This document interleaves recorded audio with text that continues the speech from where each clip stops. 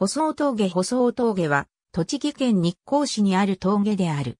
国道122号の旧道。現在の冷やしトンネルの上を貫いている。実際の旧道は、舗装町交差点から分岐し、日光市奥舗装の集落を通るため、旧道全長距離は 12km。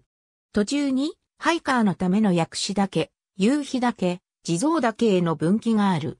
足尾側では、地蔵坂と呼ばれるつづら折れの道があり、また石組の側壁で作られた道がある。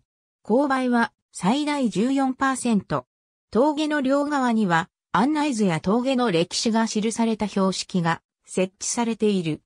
古くは日光山の修行像の峰修行の道として開かれ、足尾銅山が発見され採掘が始まってからは、往来が盛んになり、銅山の発展とともに賑わった。明治時代になり、銅山の発展とともに道路が拡張され、峠に定場が設けられ、荷物交換の行列で賑わったという。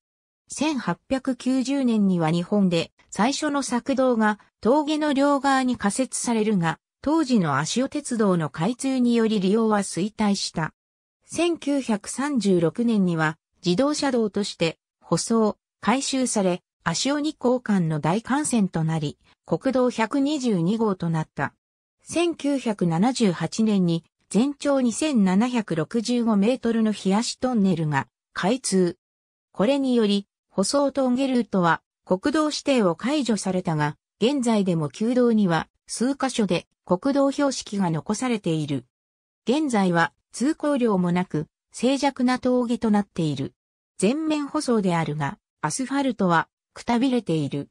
ガードレールも完備しているため、自動車やバイクの通行に差し支えはないが、ハイキングで通る者もおり、注意が必要である。冬季はゲートが閉められ、車両通行止めとなる。2010年春に、足尾川の入り口付近は崩落して、通行不能となっていたが、2010年夏頃に復旧した。ありがとうございます。